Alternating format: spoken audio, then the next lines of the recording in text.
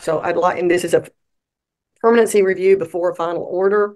Uh, so I'd like to ask everyone to, who's here to please state their name. If you're if you've muted, unmute yourself, state your name, and then and then mute yourself again. We'll we'll start with Mr. McKeska. Thank you, Judge. Uh, Drake McKeska, attorney for the department. Ms. Nix. Shelley Nix, belong permanency specialist. Lindsay Ligon, belong supervisor.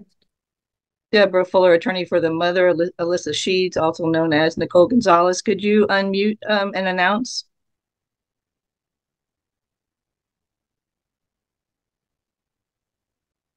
Can you unmute her, Shara, since you muted her, or no? no, I have to ask her to unmute. So okay. Sadly, I can't unmute her. okay. Sometimes it's the space bar. If they hold the space bar down, they can unmute themselves. But Richard Saldivar, attorney for the child. Thank you. Amy Harding, Hill Country Casa supervisor, guardian ad litem for the child. Looks like Charles Weatherby, attorney for the uh, alleged father who's in custody uh, with TDC. Uh, not ready, but not opposed. All right. Alyssa, can you announce now? Yeah, Melissa Sheets. All right, thank you. And if you put it back on mute, or or Mrs. Greenlee will put you back on mute. Thank you. okay. Um, as I said, we're here today for a permanency hearing before a final. All right, so I'm going to turn it over to you, Mr. McKeska, to ask questions of Ms. Nix. Uh, thank you, Judge. Permanency specialist. Okay, are you the permanency specialist as assigned to this case? Yes, I am. Okay, um, where is Cassius currently placed? He's in uh, a foster home in Boerne. Okay, and how is Cassius doing in that placement? He's doing exceptionally well in that placement. Okay, how long has he been placed there? Uh, I don't have the court report in front of me, and I've just got the case in December, uh, but several months. I'm sorry, I don't have the exact time frame. Okay. Um, is Cassius up to date on all of his medical and dental needs? Yes, he is. Okay. Are there any medical or dental concerns at this time? No, they're not. Okay. Um, is the current foster home meeting all of, I think I already asked this, meeting all of his needs? Yes, they are. Okay. Do you have um, any concerns for his placement? None at all. Uh, do you believe that continuation in his current placement is in his best interest? Yes, it is. And are you asking the court to continue his placement today? Yes, I am. Okay. Uh, what is the current permanency goal for Cassius? It is unrelated adoption by the current uh, foster home placement. Okay. They expressed a desire to adopt Cassius if um, he becomes eligible for adoption? Yes, they have. Okay. Um, can you give the court an update on um, how Miss Gonzalez is doing in her family plan of service? Um, I heard Miss Fuller state that she was in Bexar County Jail. I thought that she was in Plane State Jail. Um, to my knowledge, she was incarcerated there in January. We got her a local permanency specialist based on the last contact by that worker uh, with Miss Gonzalez. Uh, she's participating in a parenting class and she's working on towards her GED, uh, which um, I was very happy to hear that. I'm very proud of her for that. Uh, she started this um, incarceration, as I stated previously, in January. Uh, it was a five year plea agreement. Um, she's hopeful that the time will be reduced and she'll be released sooner.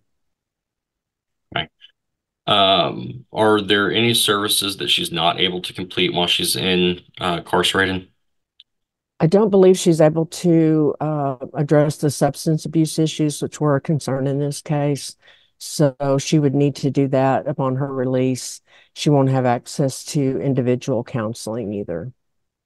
Okay. Uh, how would you classify her current level of compliance?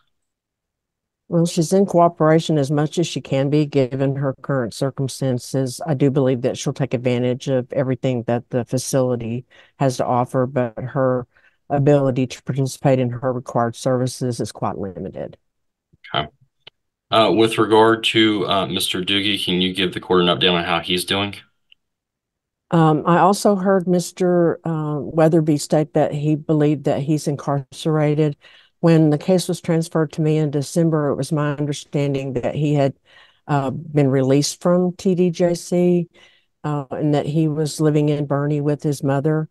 Since becoming the caseworker, I've made multiple attempts to reach him. uh, at the current address that I have for him, leaving my business card with his mother and with the young lady who identified herself as his sister, but he has not reached out to me. Okay. Uh, when's the last time you attempted to make contact with Mr. Doogie? That would have been February the 15th was my last attempt. Okay. Um, and Mr. Doogie's been adjudicated as Cassius's father in this case. Is that correct? Yes. Okay. Um, what services does Mr. Doogie need to engage in? He needs to participate in random drug testing, um, engage in a substance abuse assessment and recommended services, um, parenting, and individual counseling. Okay. And how would you classify his overall level of compliance at this time? He is not in compliance. Okay. Um, with Miss Gonzalez being incarcerated, are there any sort of parent-child visits occurring at this time? No, there are not. Okay. Is there any way to be able to facilitate visits at this time? Um, I'm sorry, I'm unable to confirm whether the facility will facilitate visits. I've not had the opportunity to reach out to them. I don't know if Ms. Gonzalez has talked to them about that, but I will reach out to the facility and confirm if visitation is available. But they are about five hours away from Boerne. Okay. And then with regard to uh, Mr. Doogie, is he having any sort of parent-child visits at this time? No, he's not. Okay. Pass the witness, Judge. Um, Ms. Fuller? Um, Ms. Nix, um, just for your information, Ms. Uh, Gonzalez is just temporarily in Bexar County. While she's Okay. there, are you able to set up a psychological evaluation? Um, yes, I can surely try to do that. Um, do you know how long she's, sorry, I'm not supposed to ask questions, but do you know how long she's do you know how long she's gonna be there? How long do I have? Uh, probably a couple weeks. I'll do my best. I mean, if you can, if you can. I, you know, she was just brought over. Okay, I apologize, Your Honor. I went off track. That's okay. Where was she, where is she brought over from? I'm a little bit confused. The Plane Jail, the Plane State Jail, um, the facility that Miss Nix had previously mentioned, that's where she's serving her time. Okay. In, in Dayton, Dayton, Texas. And so why was she moved temporarily to, to Bexar County? Uh, to deal with some issues in Bexar County. Okay, okay. I, I don't need to d- delve into that, but I was just uh, c- kind of confused. So, okay, go ahead and uh, continue your questioning, Ms. Fuller. Miss Nix, did you have an opportunity to look her up on the website for Plane Jail? Initially, yes, that I confirmed that she was there. I don't recall any other information provided there, but Um, you weren't able to see that it indicated her earliest uh, possibility to be released is April of this year.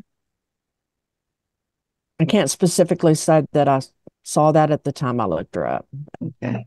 Um, and Mr. McKesson asked you about visitation. Since she is in Bexar County now, would that be a possibility to set up a visit? I'm, you know, I don't know if everybody agrees with it, but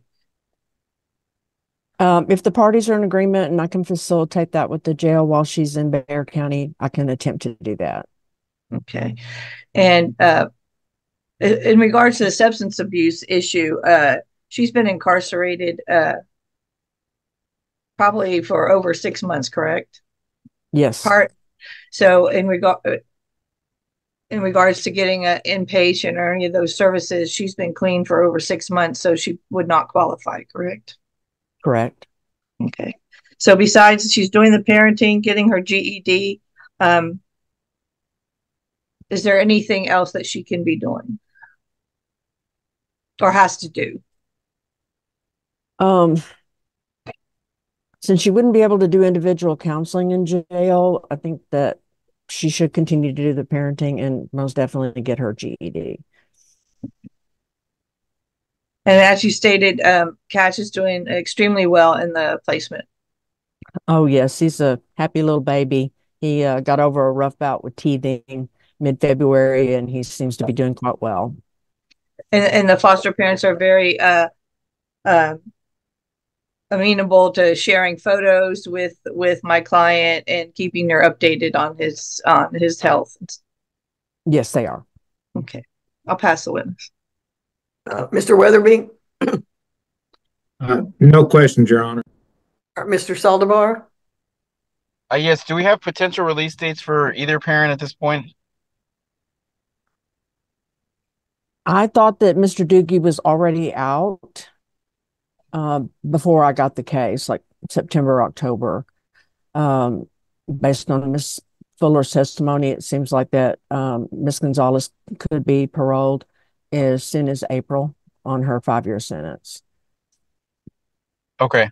and do you know when the last time uh, Miss Sheets has, has seen the child? Uh, based on the previous caseworker's documentation, one visit prior to September when she was incarcerated, and that one didn't go well. Okay. And we have uh, no concerns for the current placement, is that correct? None at all. Okay. And his needs are being met uh, with no concerns, correct? Yes, they are. Does does Cassius need any orders from the court here today? No. Okay. Pass the witness, Judge. Thank you. All right, so I'll get back to the, the parents' request, but I, I would like to hear a report from uh, Mr. Gonzalez. eh, I mean, I'm sorry, Mr. Saldivar and uh, from CASA. So, Mr. Saldivar, what are your thoughts about how things are going with this child? Well, he he's he's doing very well with placement. We get regular updates from placement, so I have no concerns for him. He's uh, meeting all his milestones. He's thriving in placement, so I'd ask that placement to continue. As far as the request for visits at jail at the jail judge, I'm opposed at this time. I don't I don't think they're in his best interest um, at this time to take the, the child to the jail for a visitation. All right, thank you. Casa, and I see Miss Weber is there now. Um, uh, does Miss Miss Weber, are you the one that would like to make the report or Miss Harding? Miss Weber? Um, I just agree with everything that has been said. He's doing extremely well with his placement. Uh, he is meeting all his milestones. I've seen him at daycare too. They also uh, just think he's thriving and doing a great job. He's crawling now. He's teething. He's happy, uh, and we don't think he should be moved at this time. We agree with the placement. How do you feel about the possible visitation with the mother at jail? Mr. Saldivar indicated he's opposed as the ad litem for the child. So honestly, this is the first time I've heard of that. So I, I probably would not want to do that either. But I haven't really had time to think about that or talk to anybody about that. Okay, well, what I'll say on the visits, I'm not going to order a visit right now. Uh, and because we don't know for sure how long she's even going to be in Bexar County, I would ask that Ms. Nix look into that and see whether it's a possibility and then make contact again with all the parties to see uh, if if they're in agreement or opposed. It, depending on what the situation is, it might be that the attorney ad litem and the CASA guardian ad litem might end up agreeing. But so I'd say we don't really have any specifics right now, is my point. So, all right, do you have Judge, anything? I just want to Go ahead, Mr.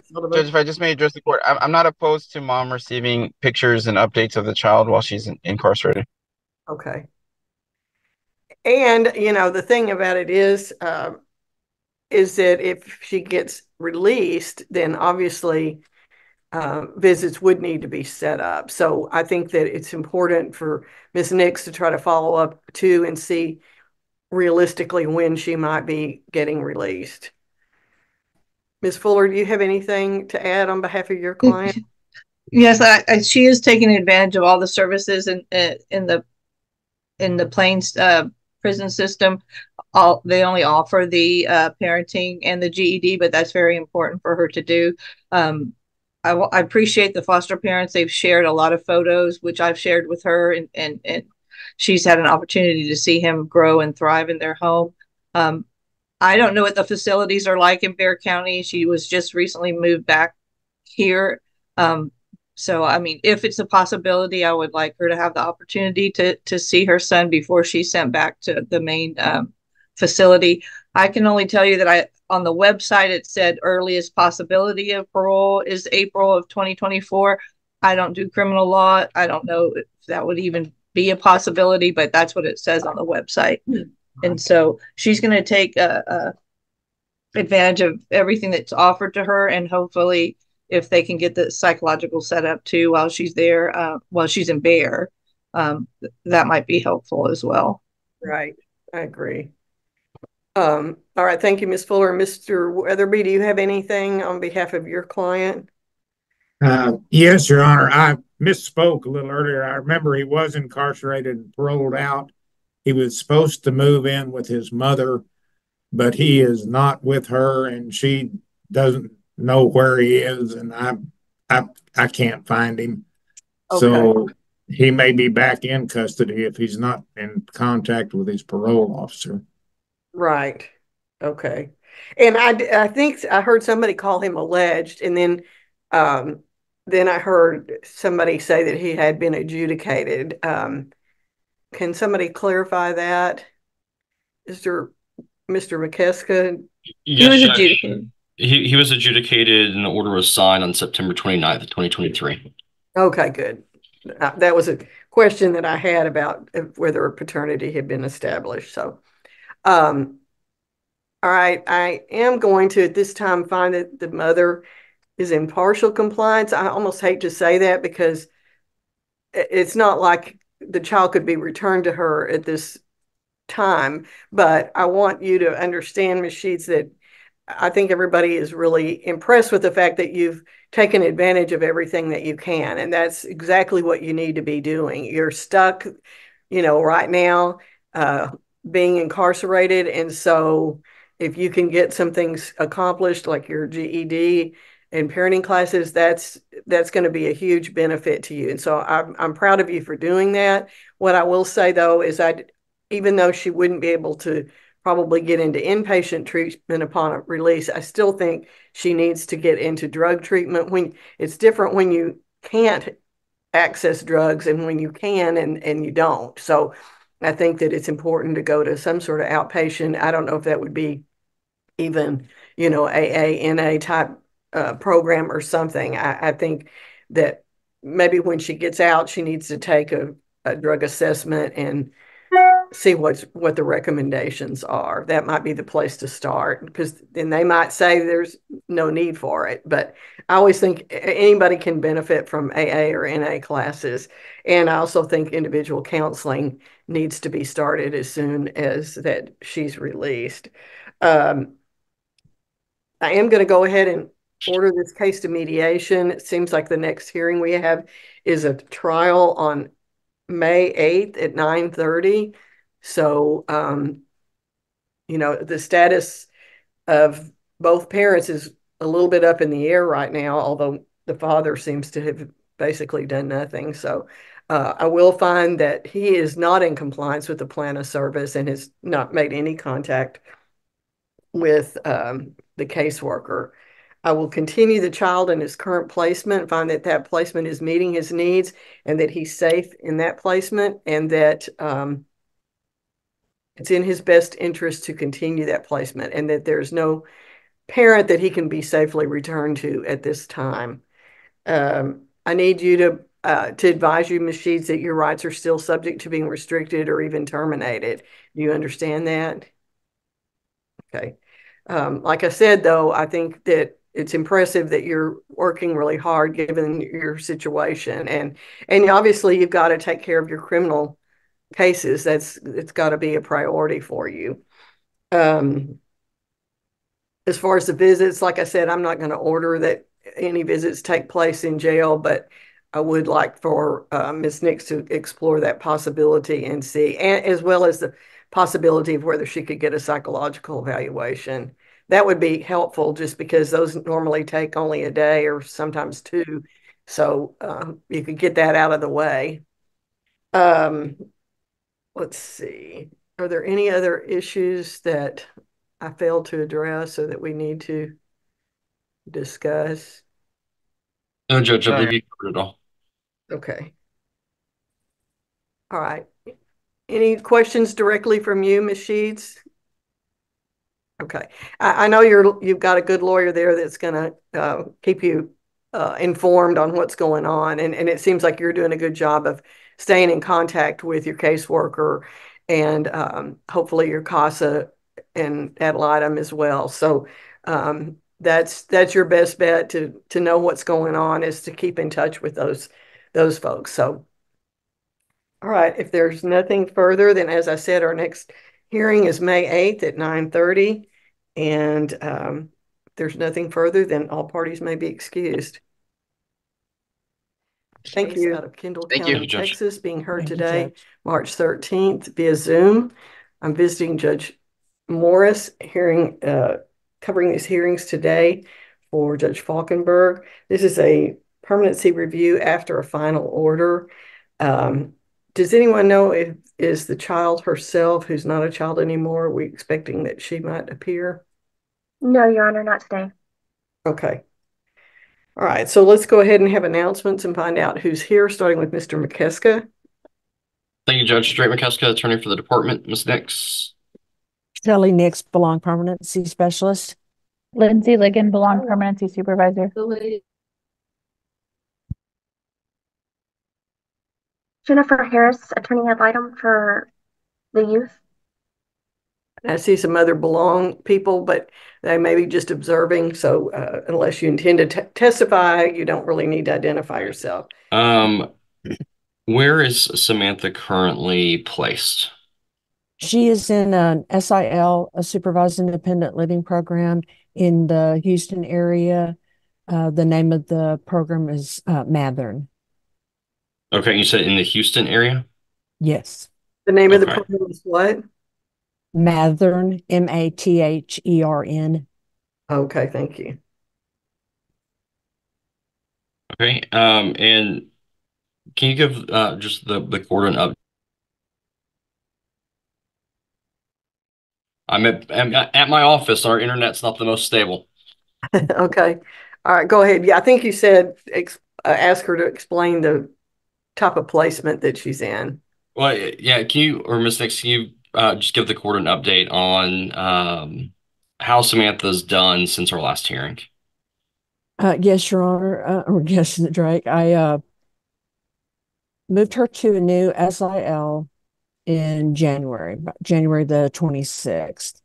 Uh, prior to that, she was in an SIL program in uh, San Antonio, and there were some placement concerns. So she was moved to a second SIL in uh, San Antonio. Then we had additional concerns that arose in January. So she was moved to Mathern. Uh, she's been in a in the extended care for about nine months now. She has uh, struggled with the transition to try to to be uh, living independently. She's had trouble getting uh, into eligibility uh, compliance. She was briefly enrolled in cosmetology school, but then stopped.